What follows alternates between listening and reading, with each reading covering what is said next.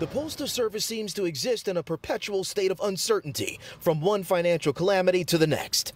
Have you ever seen equipment being intentionally removed from facilities? Never, and I'm a mechanic. But Jonathan Smith, president of the Postal Union representing some 5,000 clerks, maintenance workers, and drivers, says the U.S. Postal Service is facing a crisis like he's never seen in his three decades of service. One manufactured, he says, from the White House. The only reason that this is happening is because the President of the United States has decided to politicize the Postal Service, and we are not a political entity.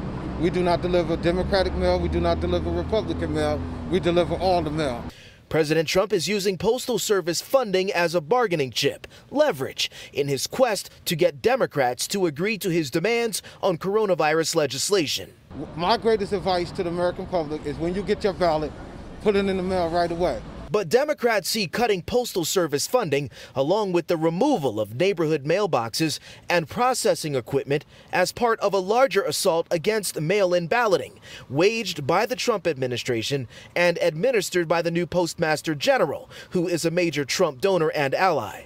Mailed ballots could be critical this fall during an expected resurgence of the coronavirus pandemic, and there's concern postal delays could mean millions of uncounted votes in November. They want $1 trillion to go to their friends doing a bad job running certain cities and states that are doing very badly. President Barack Obama says it amounts to pure voter suppression. What we've never seen before is a president say, I'm going to try to actively kneecap the Postal Service to encourage voting. And I will be explicit about the reason I'm doing it. My greatest advice to the American public is when you get your ballot, put it in the mail right away.